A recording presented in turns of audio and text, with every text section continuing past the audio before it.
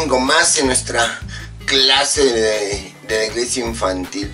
Pues bueno, si tú eres la primera vez que nos ves, pues séte bienvenido. Y bueno, si ya eres seguidor de nosotros, pues nuevamente bienvenido este domingo a la escuela de la iglesia infantil. ¿Sí?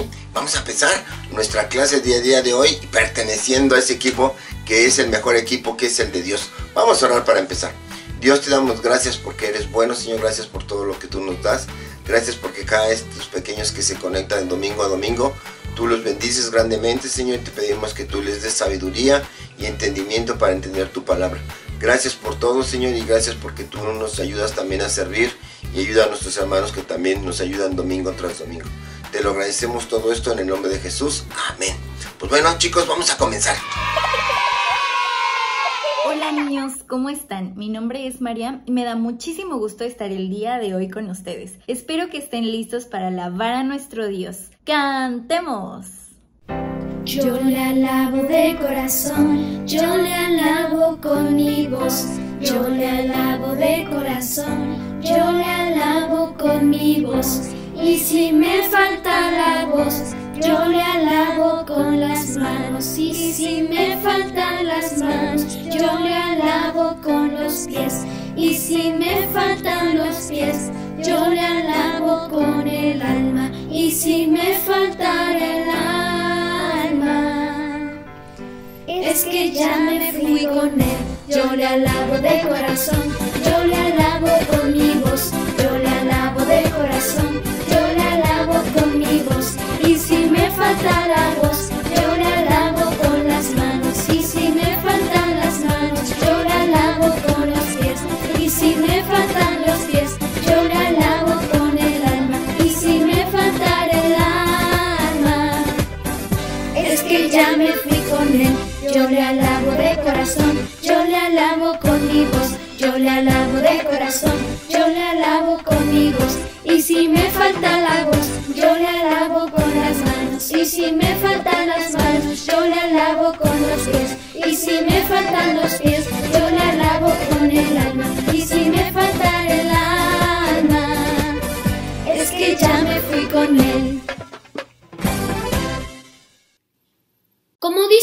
1 Pedro 1, 8 y 9.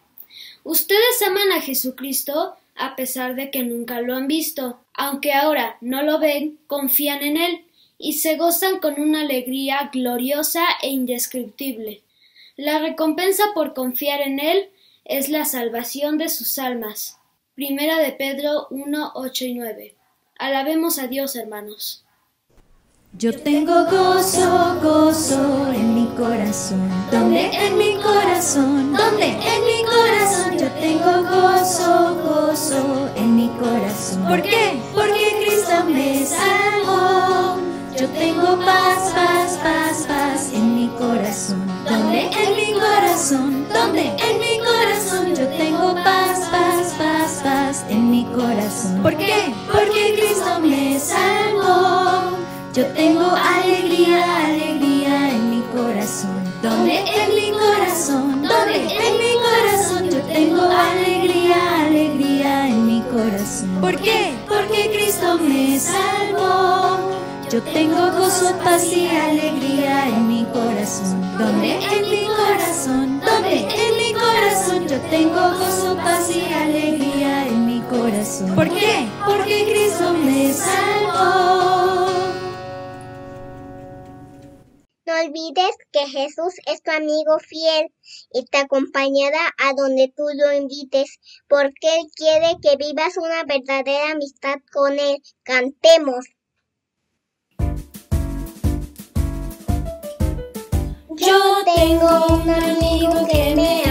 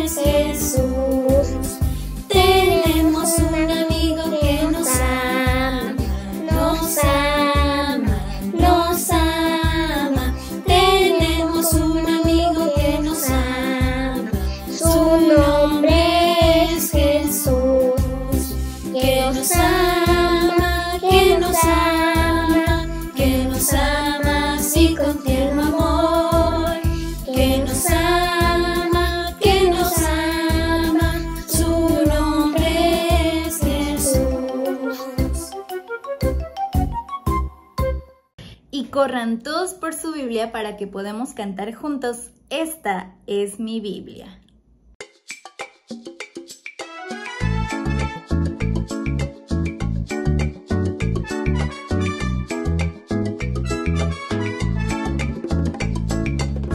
Esta es mi Biblia, es la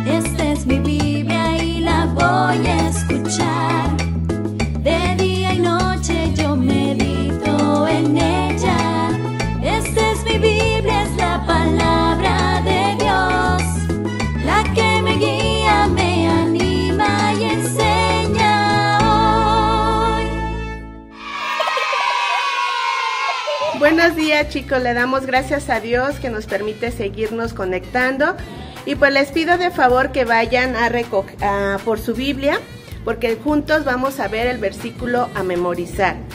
Mientras van por su Biblia, vamos a estar recordando que en domingos pasados hemos estado hablando de formar parte de un equipo. ¿Y el equipo de quién es chicos? El equipo de Jesús. Muy bien, ahora que ya tenemos todos nuestra Biblia, vamos a buscar Salmos que se encuentra en el Antiguo Testamento, casi en la parte del medio. Posteriormente vamos a buscar el capítulo 32, que es el número más grande, y el versículo que es 8, que es el número más chico. Ya que todos hayamos encontrado nuestro versículo a memorizar, vamos a repetirlo. Y la palabra de Dios dice así, te haré entender y te enseñaré el camino en que debes de andar. Sobre ti fijaré mis ojos. Salmos 32, 8. Muy bien chicos, pues vamos a realizar la siguiente dinámica para aprender nuestro texto. Tengo tres pelotas de las cuales las voy a aventar tres veces. Cuando concluyan, repetimos nuestro texto. Empezamos con nuestra primera pelota, que aquí la tenemos. Ok, muy bien chicos, vamos a repetir nuestro texto y dice así. Te haré entender y te enseñaré el camino en que debes de andar. Sobre ti fijaré mis ojos. Salmos 32, 8. Muy bien chicos, vamos con la segunda pelota, que aquí la encontramos.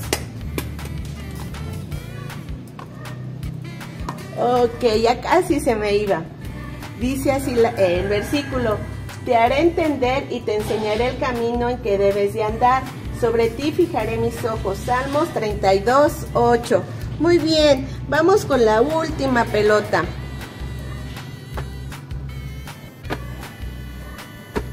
Vamos a repetir nuestro texto. Te haré entender y te enseñaré el camino en que debes de andar. Sobre ti fijaré mis ojos. Salmos 32, 8. Muy bien, pequeños. Recuerden que este versículo lo encontramos en la palabra de Dios que es la Biblia. Pues con esto concluimos nuestro texto a memorizar. Hola niños, ¿cómo están? ¿Cómo les ha ido? ¿Cómo le han pasado? Yo me imagino que muy bien y yo doy gracias a Dios por la vida de cada uno de ustedes. Y pues el día de hoy vamos a continuar con, estas lecciones que hemos estado aprendiendo en las últimas semanas y que tiene que ver con un equipo. De hecho ya hemos aprendido varias cosas acerca de pertenecer a un equipo. Hemos aprendido lo que es pertenecer, lo que es ser un jugador. Y bueno, pues yo sigo con mi playera puesta porque creo que aunque no es del equipo del que hemos hablado, pero nos hace pues eh, denotar que pertenecemos a un equipo. Y bueno, pues la semana pasada aprendimos sobre cómo es el jugador del equipo, qué, qué características debe tener, qué es lo que debe de hacer.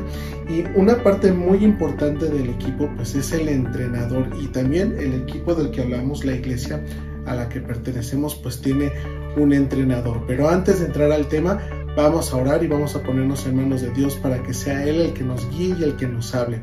Señor, gracias te damos por este día y gracias te damos por lo que tú tienes preparado para nosotros. Yo te pido por cada uno de los niños que están escuchando esta lección, que tú hables a su corazón, que abra su entendimiento y que todo lo que aprendamos el día de hoy lo podamos guardar y poner en práctica. Gracias, te amo en el nombre de tu amado Cristo Jesús. Amén. Y bueno, pues como les decía, una parte muy importante dentro de un equipo pues es el entrenador. El entrenador pues es el que marca por dónde va eh, el, rumbo del equipo, es el que nos hace las jugadas, es el que prepara todo, es el que nos dice cuál es la tarea de cada uno de nosotros dentro del equipo, cuál es el papel que, tenemos cada uno de nosotros y sobre todo pues nos ayuda a mejorar. Si tenemos algunas áreas en las que no somos muy buenos, pues nos ayuda a mejorarlas, nos ayuda a desarrollarlas y aquellas en las que somos muy buenos, pues nos ayuda a enfocarlas en, en, el objetivo final, digamos, un, eh, en un equipo de fútbol, un delantero que es muy bueno, pues a lo mejor asistiendo, pues le va a ayudar a, a que sea lo mejor posible asistiendo o metiendo goles o así. Y el entrenador pues juega todas estas funciones y es por eso que el entrenador debe de conocer muy bien a cada uno de sus jugadores. De hecho, pasa gran parte de su tiempo estudiando a cada jugador, viendo cuáles son sus debilidades, cuáles son sus fortalezas, cuáles son las áreas en las que puede mejorar y, trata de trabajar en esto precisamente para hacerlo un mejor jugador dentro del campo de juego. Y esa es una parte muy, muy importante. Y el entrenador de nuestro equipo pues no es más otro que Dios. Y él, a diferencia de los entrenadores de los equipos de fútbol, de básquetbol o del deporte o la actividad que ustedes quieran, a diferencia de, de, ellos, Dios no necesita pasar tiempo conociéndonos, porque saben que Dios ya nos conoce. Y es una característica que el día de hoy, una cualidad más que característica, es una cualidad que Dios tiene que el día de hoy vamos a aprender. Y yo no sé si ustedes han hablado acerca de la omnisciencia de Dios, que tiene que ver que todo lo sabe. Eso quiere decir la palabra omnisciencia, que todo lo sabe, todo lo conoce. Para Dios no hay nada escondido. Todo lo conoce. ¿Por qué? Porque Él lo creó, simplemente. Y para conocer esta, esta cualidad de Dios, este, este característica, esta parte de su personalidad, vamos a basarnos en el Salmo 100, perdón, en el Salmo 139, versículos 1 al 6, que nos habla precisamente de esta cualidad de Dios. Como Él es el, el, entrenador del equipo que es la iglesia y nosotros somos parte de ese equipo, pues Él nos conoce perfectamente. Y antes de entrar de lleno pues a las preguntas, vamos a leer lo que dice el versículo, eh, este, el pasaje y pueden traer ahí su Biblia, si la tienes en una tablet, si la tienes en, una página de internet, está bien. Y dice, oh Jehová, tú me has examinado y conocido, tú has conocido mi sentarme y mi levantarme, has entendido desde lejos mis pensamientos, has escudriñado mi andar y mi reposo, y todos mis caminos te son conocidos. Pues aún no está la palabra en mi lengua, y aquí, oh Jehová, tú la sabes toda detrás y delante me rodeaste, y sobre mí pusiste tu mano. Tal conocimiento es demasiado maravilloso para mí, alto es, no lo puedo comprender. Es un pasaje pequeño, pero en el que hay mucha información acerca de esta cualidad de Dios que es importante para cada uno de nosotros. Y dice, vamos a, una serie de preguntas para ir aprendiendo sobre esta cualidad de Dios. La primera de ellas dice, ¿por qué se dice que Dios tiene el conocimiento perfecto?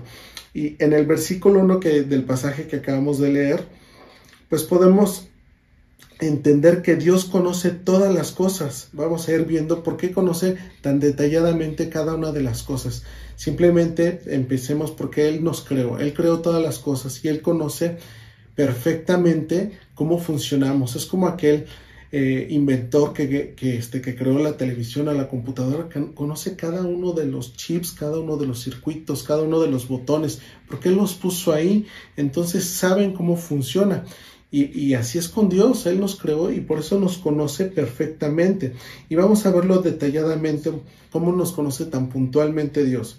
Y la primer, la primer eh, eh, pregunta, el primer concepto que vamos a, leer o aprender el día de hoy es que Dios lee tus pensamientos. No tengas miedo, no te preocupes, porque a lo mejor de pronto podríamos entrar así como en un pánico de ¡Ah! Dios, ¿de verdad puedes leer mis pensamientos? Bueno, la realidad es que sí. Dios es el único que puede conocer los pensamientos de cada ser humano sin excepción. Conoce los pensamientos de cada uno. Lo que estoy pensando ahora, lo que estás pensando ahora, lo que pensaste ayer, incluso lo que vas a pensar en el futuro. Ahora, esto no debe de, hacernos eh, entrar en una eh, como paranoia de, de, decir, ah, no, es que Dios conoce mis pensamientos y estar preocupados todo el tiempo por lo que estamos pensando. En realidad no, no, no estamos aprendiendo eso para ese propósito. La realidad es solamente que sepamos que Dios conoce mis pensamientos. Ese es el único propósito, que lo sepamos al final del día nosotros pues constantemente estamos pensando, aun cuando estamos en silencio, estamos pensando en algo a lo mejor en lo que voy a hacer mañana, en los planes que tengo, o, pensamos en lo que ya pasó, o pensamos en a, a lo mejor en un examen, en un pendiente, o en algún paseo que tuve, pero el chiste es que estamos pensando constantemente y Dios conoce nuestros pensamientos. Eso lo podemos confirmar en el versículo número 2. Tú has conocido mi sentar y mi levantarme y has entendido desde lejos mis pensamientos, dice al final del versículo 2. Entonces, Dios nos conoce tan a detalle que incluso nuestros pensamientos los conoce. Ahora, vamos a conocer una segunda característica de esta cualidad de Dios, que Dios conoce cada paso que das. ¿Por qué debo cuidar lo que hago según el versículo 3? Dice el versículo 3, has escudriñado mi andar y mi reposo y todos mis caminos te son conocidos. Dice, porque Dios conoce qué se hace diariamente, sabe dónde andas y dónde duermes. Dios sabe dónde estamos, Dios sabe en, a dónde fuimos, a dónde iremos, dónde estamos en este momento. Conoce cada uno de nuestros pasos. Aún nosotros, a lo mejor sin, sin tener un plan de dónde iremos, pues Dios ya sabe, Dios conoce todo, todo lo que hacemos. A esto se refiere este, este, esta cualidad, esta característica de esta cualidad de Dios, de, de, la omnisciencia. Conoce cada uno de nuestros movimientos, conoce hacia dónde nos dirigimos, por qué hacemos lo que hacemos. Entonces, Dios conoce mis pensamientos, pero también conoce mis acciones, conoce lo que estoy haciendo, aun cuando estoy solo en mi habitación o en la sala o en mi casa o en algún lugar, aún en ese lugar donde al parecer no hay nadie, Dios conoce las acciones que yo estoy haciendo en ese momento. Todo esto no es oculto para Dios. E insisto, no es para entrar en una paranoia, en un miedo, sino simplemente para que sepamos que Dios conoce todo lo que hacemos, aunque pensemos que nadie nos ve, aún aquellas cosas que creemos que estamos haciendo escondidas, Dios lo sabe. Dios lo ve porque, como dice el versículo 3, conoce todas, todo mi andar y mi reposo y todos mis caminos le son conocidos. La tercera característica de esta cualidad de Dios, de su omnisciencia, es que Dios conoce qué vamos a decir. Dice el versículo 4, pues aún no está la palabra en mi lengua y aquí, oh Jehová, tú la sabes toda.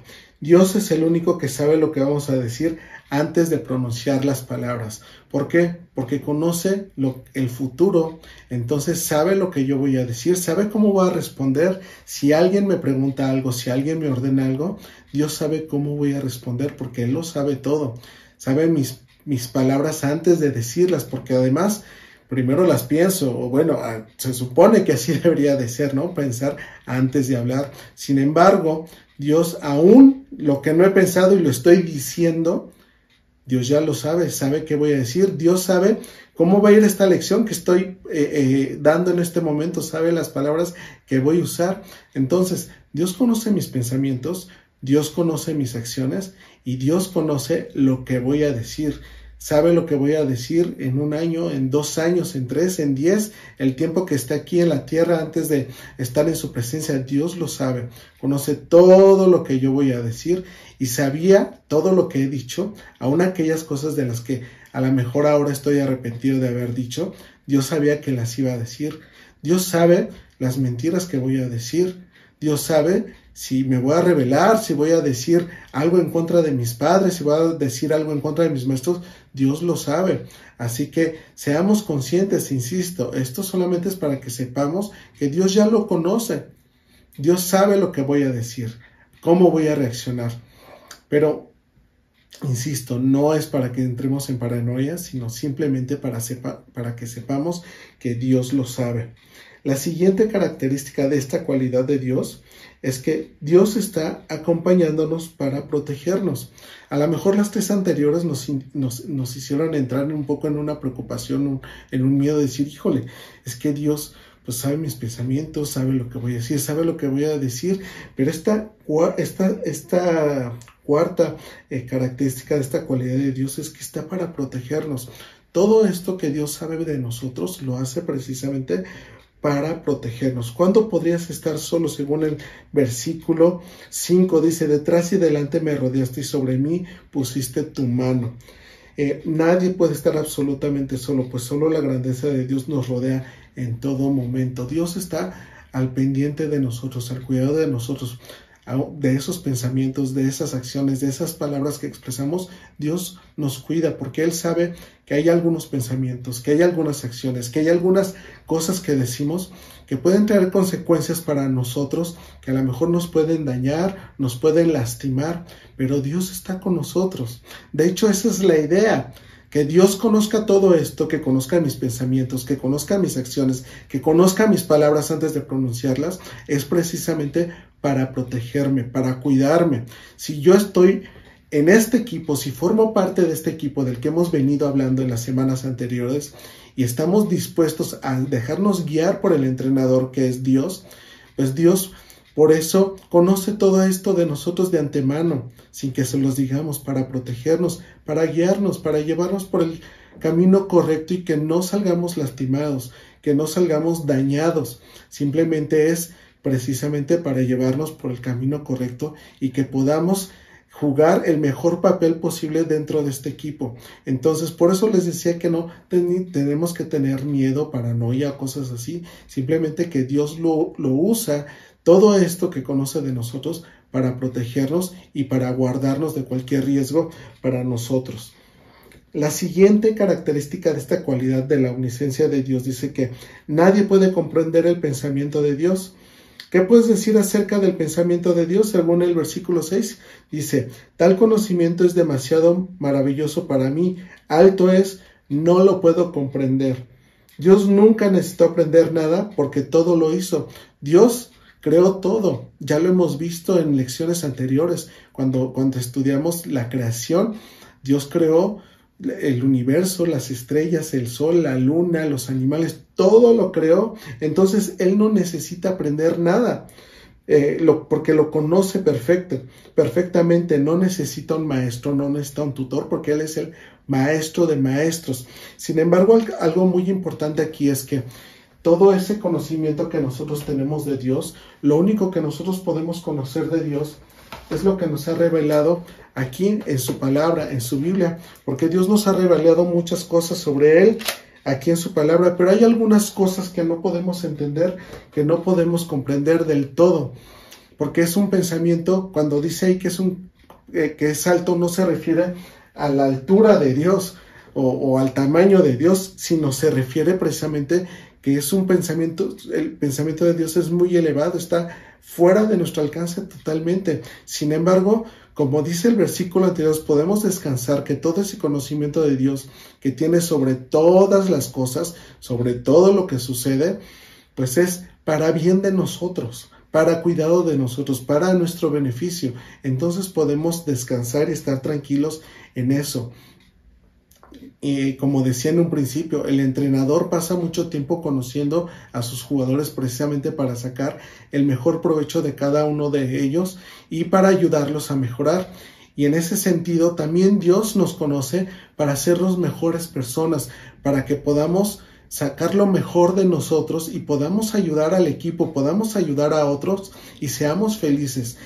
Dios lo que quiere de cada uno de nosotros es que seamos felices, que disfrutemos. Y por eso es que conoce cada una de estas situaciones, nuestro pensamiento, nuestras acciones, nuestras palabras, para cuidarnos y que no descuidemos el objetivo por el cual quiere que estemos aquí, que es alabarle, que es darle la gloria, pero sobre todo que seamos felices por lo que Él nos ha dado, por lo que Él es en nuestras vidas, por lo que somos parte de este equipo. Entonces, Dios tiene ese conocimiento elevado, podemos encontrar parte de su conocimiento en la palabra de Dios, pero hay cosas que no vamos a comprender ni vamos a saber por qué las hace.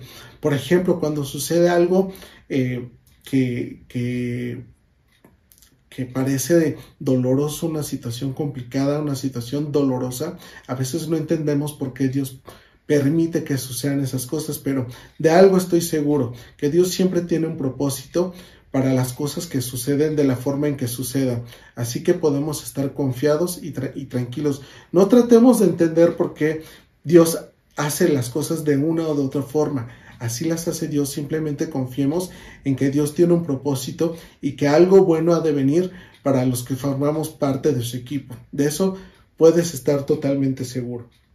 Bueno, ahora que hemos conocido sobre las características de esta cualidad de Dios, vamos a revisar tres preguntas que nos van a ayudar a repasar o a reflexionar un poco sobre esta cualidad de Dios. Y la primera de ellas es, ¿qué significado tiene que Dios sea omnisciente? Bueno, pues piensa un poquito en lo que hemos aprendido, en lo que hemos estado repasando y eh, contesta esa pregunta y a lo mejor coméntala con los que están ahí. Pero eh, el, saber que Dios sea omnisciente, pues nos hace tener la claridad de que Dios conoce mis pensamientos, mis acciones y lo que voy a decir. Y eso nos ayuda no a, tener miedo a que Dios conozca, como decimos en su momento, me va a ayudar precisamente a ser consciente que Dios sabe todo esto para cuidarme, para protegerme de aquello que me puede lastimar o que me puede hacer daño. Eh, tenemos que ser cuidadosos con lo que pensamos porque Dios lo conoce. Y eso eh, de que debemos de ser cuidadosos con lo que pensamos porque todo lo que hacemos nació de un pensamiento. Cuando decimos una mentira, cuando eh, decimos una mala palabra, cuando tenemos una actitud que no es correcta hacia otros, pues primero lo pensamos. Tuvimos esa idea, ese pensamiento y después llevamos a cabo eso que estábamos pensando y a veces todo eso nos, nos lleva a lastimarnos, a hacernos daño a nosotros mismos y muchas veces lastimamos a otros. Por eso es que debemos tener cuidado con lo que pensamos, porque eh, puede ser algo que pues, nos pueda lastimar, que nos pueda dañar, puede ser algo que nos lleve a hacer algo de lo cual después nos podemos arrepentir. Entonces el saber que Dios es omnisciente nos ayuda a ser conscientes de lo que estamos pensando y que nos puede llevar a algo pues que nos puede dañar o lastimar.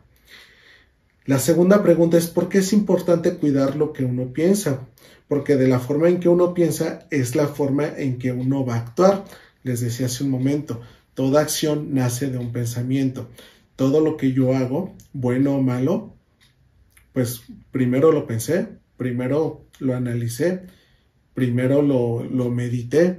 Si yo hago algo bueno, por ejemplo, si digo, voy a ayudar a, a, mi casa a lavar los trastes, primero lo pensé y después fui a lavar los trastes. Entonces, debo de cuidar precisamente mi pensamiento porque eso me va a llevar a una acción buena o mala, que va a tener una consecuencia buena o mala hacia mí y hacia otros posiblemente, y por eso es que debo de tener cuidado para no lastimarme, para no hacerme daño, para no lastimar a otros simplemente, porque todo eso, pues siempre cuando hacemos algo malo y hay un daño hacia alguien, yo te aseguro que te sientes mal. Yo cuando he hecho cosas que, lastimaron a alguien, después me siento mal y dije, ¿por qué pensé eso? ¿Por qué lo hice? Y estoy arrepentido y pido perdón y Dios me va a perdonar, lo hemos aprendido, Dios me va a perdonar. Cuando yo pido perdón, Dios me perdona. Pero esa consecuencia a veces, aunque ya he pedido perdón a Dios, aunque ya he pedido perdón a lo mejor a la persona, a veces pues sigo con eso y, y, y, y pienso que no debí de haberlo hecho. Entonces, por eso es importante que eh, tengamos cuidado con lo que pensamos porque pues va a tener eh, una acción más adelante. Y finalmente la tercera pregunta dice, ¿cómo puedo cambiar ciertos pensamientos malos? Porque tenemos pensamientos buenos, pero también tenemos pensamientos malos. Eh, una forma, una forma en que podemos cambiar esos pensamientos malos es buscando pensamientos positivos que reemplacen a los negativos buscar deliberadamente practicar acciones hasta que esta forma positiva de pensar se convierta en un hábito, es decir, debo de cuidar también con qué estoy alimentando mi cabeza, qué estoy escuchando, qué estoy leyendo, qué estoy viendo en las redes sociales, qué estoy viendo en, en las plataformas, en, como YouTube, como Netflix, todo esto que, que, que, está al alcance de nuestras manos, en Facebook, en fin, ¿qué estoy viendo? Todo eso alimenta nuestra cabeza. Y de eso que nos alimentamos surgen pensamientos y después de los pensamientos pues hay acciones. Entonces debo de tener cuidado y debo de alimentarme de cosas pues que sean benéficas para mí, cosas positivas. Y yo te aseguro que poco a poco, cuando nosotros alimentamos de cosas positivas nuestro pensamiento, nuestra cabeza, pues vamos a tener y tener pensamientos positivos y acciones positivas en el sentido que, que van a ser de bendición para mí y de bendición para otros. Y de esta forma, eh, pues Dios nos va a guiar, nos va a llevar por el buen camino, nos va a bendecir. Entonces, esos pensamientos que tengamos malos, pues suplámoslo por, pensamientos buenos, suplámoslo por cosas que ayuden a otros, que nos ayuden a nosotros mismos. De esta forma vamos a ser mejores jugadores, vamos a ser mejores jugadores para nosotros, para otros, para el equipo, para la iglesia. Dejémonos guiar por el, por el entrenador que es, que es Dios, dejémonos llevar por Él y yo te aseguro que, que cada vez vamos a sentirnos mejor y vamos a ir creciendo más y más poco a poco. Este es un crecimiento pues paulatino, pero constante si nosotros permitimos que Dios nos lleve por ese camino. Ningún jugador, el que tú quieras, Messi, Ronaldo, tu favorito, el que sea, sin entrar en, controversia de quién es mejor, pero cualquiera de esos jugadores que ha logrado muchos éxitos, empezó desde abajo, poco a poco. Tenía un talento, por supuesto tienen talento, pero un entrenador o varios entrenadores los fueron llevando de a poco hasta lograr hacer las estrellas que ahora son, porque se dejaron guiar por el entrenador o los entrenadores en las distintas etapas de su vida como, como deportistas. Michael Jordan, LeBron James también como basquetbolistas, en fin, en la disciplina, el deporte que tú quieras Así fue y con nosotros es igual. Nuestro entrenador Dios quiere llevarnos de a poco, pero nosotros debemos dejarnos guiar para llegar precisamente a ser lo que Dios quiere que seamos eh, dentro de este equipo maravilloso que es eh, eh, la iglesia de Dios. Entonces, espero que lo que hemos aprendido el día de hoy sobre esta cualidad de Dios, su omnisciencia, te haya quedado clara y te ayude a entender que esa omnisciencia que Dios tiene es precisamente para ayudarnos a ser mejores, para cuidarnos, para protegernos de todo aquello que nos puede dañar o que puede dañar a otros por medio de lo que nosotros estamos pensando, haciendo o diciendo. Pero bueno, pues seguiremos aprendiendo en las próximas semanas algunas otras cualidades de Dios que, eh, que, es importante que sepamos de ellas porque también eso nos ayuda precisamente pues a ser cada día mejores. Y bueno, pues vamos a orar, vamos a orar para despedirnos, para ponernos en manos de Dios y que sea eh, pues Él el que nos guíe y que nos ayude a comprender sobre todo esto que hemos aprendido. Señor, gracias te damos por, por esta lección, gracias te damos por lo que nos has enseñado el día de hoy. Pues yo te pido por cada uno de estos pequeños para que tú pues les ayudes a vencer cualquier tentación, pensamiento de acción, de palabra que puedan tener y que podamos siempre poder escuchar lo que tú nos estás diciendo y escuchar tu guía día a día para pues ser de bendición para, para otros y también recibir bendición de tu parte, Dios mío. Te pido por cada uno de ellos que tú les guardes esta semana, que estés con ellos durante esta semana en sus estudios, en fin, en sus casas, que también cuides sus hogares, a sus padres, a sus hermanos, abuelos, en fin, todo, a, su familia y que estés con cada uno de nosotros porque así lo has prometido, Dios mío. Gracias, te en el nombre de Hijo amado Cristo Jesús. Amén. Pues muchas gracias, niños, y estamos pues eh, aprendiendo más de Él y lee tu Biblia porque ahí es la forma en que el entrenador nos habla. Adiós. Hola pequeñitos, para la actividad del día de hoy vamos a necesitar una hoja tamaño carta blanca, lápiz, pegamento blanco, tijeras, goma, colores, crayolas o plumones. Vamos a colocar nuestra hoja tamaño carta de así en horizontal y la vamos a dividir a la mitad. Vamos a hacer un doblez de esta manera para obtener dos rectángulos y vamos a marcar primero con nuestros deditos para que queden bien parejitas nuestras esquinas y también vamos a utilizar nuestras uñitas para marcar el borde. Después lo vamos a cortar a la mitad. Yo voy a utilizar unas tijeras, pero también te puedes ayudar con una reglita para cortarlo. Una vez que tengas los dos rectangulitos, vamos a hacer otro doblez y vamos a hacerlo en diagonal aquí en la esquina. Esto va a ser para poder sacar dos cuadrados del mismo tamaño. Esos son los que nos interesan. Vamos a marcar bien de esta manera y vamos a cortar por este borde. Igualmente yo voy a usar las tijeras, pero también puedes ayudarte con una regla para hacerlo. Y con el otro rectángulo vamos a hacer lo mismo para tener dos cuadrados igualitos. Una vez que tenemos nuestros dos cuadraditos, vamos a volver a hacer unos dobleces. Vamos a marcar aquí por la mitad. Lo vamos a abrir y vamos a llevar el otro borde hacia el centro. Marcamos bien con nuestros deditos lo abrimos y ahora el otro lado hacia el centro. Y marcamos. Con el otro cuadrado vamos a hacer exactamente lo mismo. Vamos primero a la mitad para marcar el centro.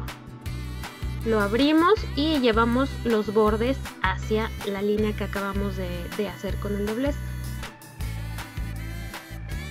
Marcamos con nuestros deditos abrimos y llevamos el borde del otro lado. Ahora nos van a quedar unos rectángulos así, de esta manera, en las dos hojitas. Ahora vamos a pegarlas. Fíjate muy bien cómo lo vamos a hacer. En este cuadradito están marcadas en este sentido los dobleces. Ah, y en este están igual. Vamos a girarlo para que unos queden en horizontal, otros en vertical y vamos a poner uno encima de otro. Vamos a juntar bien la... Mira, aquí te los pongo separaditos para que veas de nuevo. Uno queda en horizontal y el otro en vertical. Vamos a juntarlos. Y vamos a poner pegamento blanco. Tiene que ser pegamento blanco. Aquí en las esquinitas. Vamos a poner un poquitito. Y vamos a embarrarlo bien y vamos a asegurarnos de poner las dos esquinitas juntas para que queden bien parejitos. Y vamos a hacer lo mismo con las cuatro esquinitas. Nada más vamos a poner en las esquinas. Lo embarramos un poquito y marcamos. Asegúrate de que queden bien parejitos los dos cuadraditos.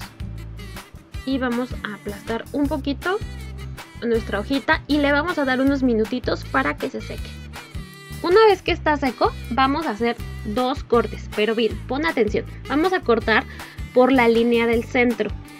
Pero no vamos a cortar las dos hojas porque no lo queremos separar. Vamos, ¿te acuerdas que nada más pegamos las esquinitas? Vamos a abrir aquí por el centro y ahí es por donde vamos a pasar la tijera. Vamos a pasarla por aquí por el centro de las dos hojitas y vamos a cortar por donde está el doblez del centro. Mira cómo no estoy cortando las dos hojas. Es muy importante que haga esto así de esta manera. Vamos a cortarlo por el, doblez que ya marcamos. Una vez que lo tengas ya cortado, mira, se va a poder abrir así como unas puertitas. Vamos a darle la vuelta porque ahora vamos a hacer el otro corte del centro, pero vamos a hacer lo mismo. Vamos a abrir, separar y vamos a pasar la tijera por aquí en medio. Ten mucho cuidado de no cortar el que acabas de abrir por abajo. Solo vamos a separar estas dos partes, aquí con cuidadito. Abrimos aquí como una puertita y así se tiene que ver si lo hicimos bien. Ahora vamos a marcar todos nuestros dobleces. Mira, vamos a abrir estas puertitas y vamos a darnos cuenta que de un lado están marcados y de otro no. Entonces para eso tenemos que empezar a abrir las puertitas y a doblarlas hacia atrás. De esta manera podremos marcar los dos lados con los dos tipos de dobleces, los que están en horizontal y los que están en vertical. Mira, vamos a estar marcándolos todos, todos, todos. Lo volteamos hacia este lado y siempre recuerda llevar, y esto se va a hacer llevando los bordes hacia el doblez del centro. Siempre en mitades. Bien, ahora fíjate bien. Esto va a ser bien importante porque va a ser la forma en la que nuestra manualidad se va a abrir y, nos va a ir mostrando nuestros dibujos. Mira cómo están estas puertitas aquí. Vamos a empezar a doblar hacia atrás para ir descubriendo todo. Si le das toda la vuelta completa vas a darte cuenta que vamos a regresar siempre a la posición a la que empezamos. En el segundo doblez te va a quedar esta formita de cruz. Fíjate cómo se ve por adelante y por atrás. Es aquí donde vamos a comenzar. Vamos a empezar haciendo un dibujito de nosotros en posición de oración. Y lo vamos a hacer nada más en este espacio. Aquí en el centro de esta cruz es en donde nos vamos a dibujar a nosotros en posición de oración. Vamos a agarrar nuestro lapicito y vamos a comenzar a dibujar aquí en el centro y nada más en este espacio. Cuando lo tengas se va a ver más o menos así. Me, estoy adelantando para mostrarte bien cómo lo tienes que hacer. Y yo voy a ir marcando los bordes de mis dibujos con un plumón. También puedes marcarlo con un color más oscuro o dejarlos en lápiz y nada más irle poniendo color. Yo voy a marcar los bordes de esta cruz y le voy a poner todas estas decoraciones que a mí me gustan cómo se ven y se las voy a ir poniendo en color. Tú puedes ponerle lo que quieras. En este es nuestro primer dibujito. Vamos a ponernos aquí y vamos a hacer esta cruz muy bonita porque cada que hablamos con el Señor es un momento muy feliz para nosotros. Cuando termines se va a ver algo de esta manera.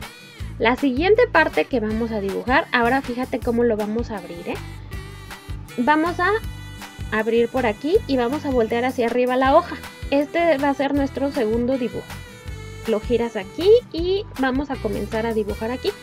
En este, otra vez ya me adelanté un poquito, vamos a poner aquí nuestro título que va a ser el Salmo 139, versículo 1 al 6.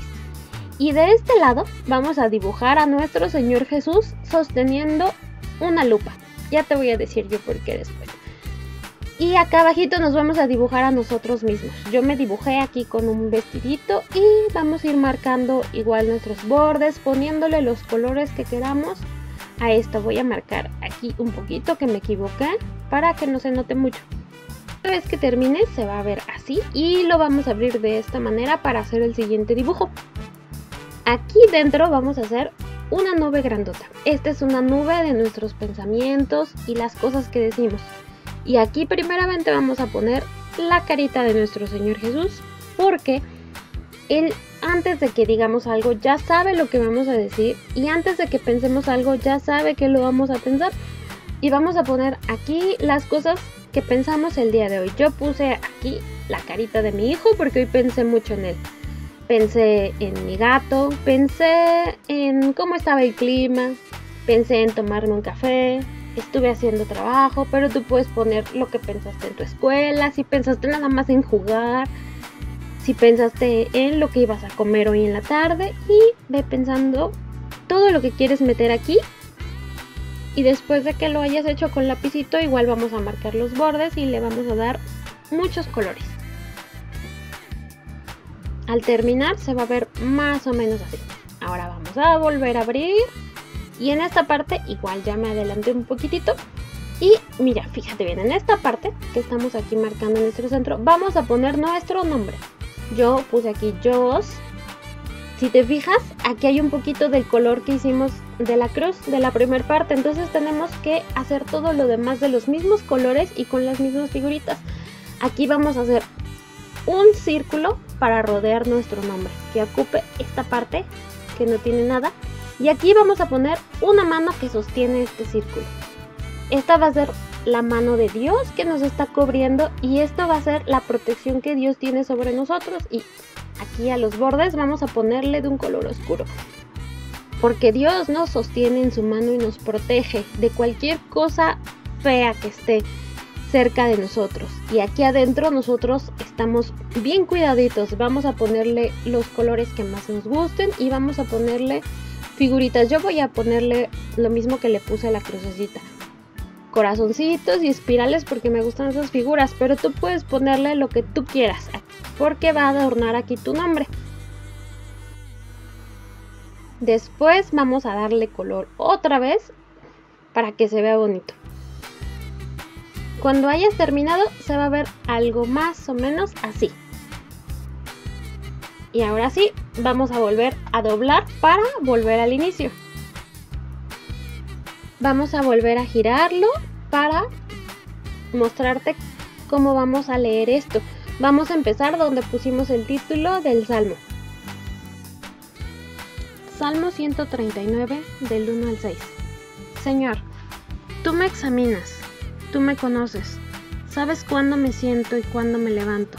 Aún a la distancia me lees el pensamiento, mis trajines y descansos los conoces.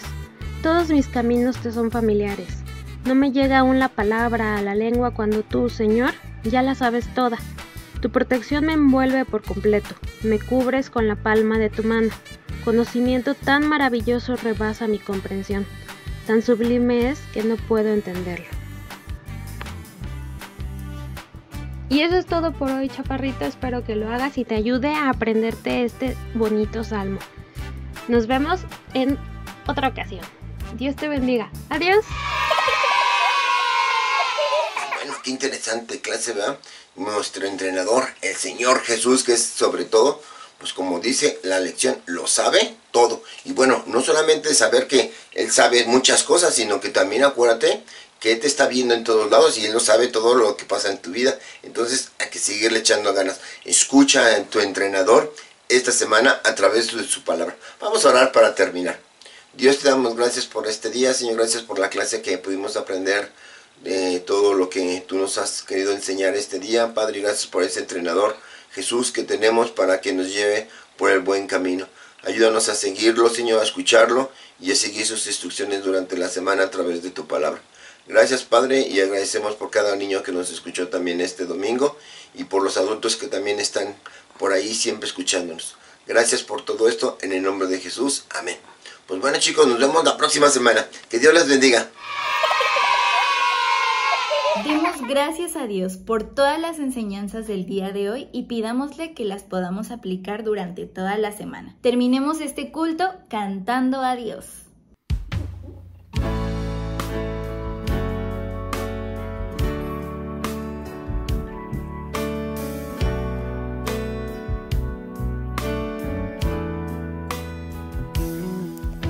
Encontrado que el amor verdadero es mucho más que una sensación.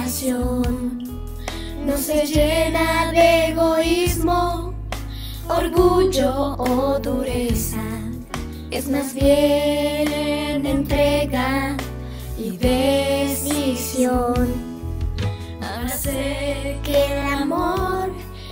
Paciencia soportar las pruebas y esperar. Puedo ver que el ejemplo perfecto es Dios porque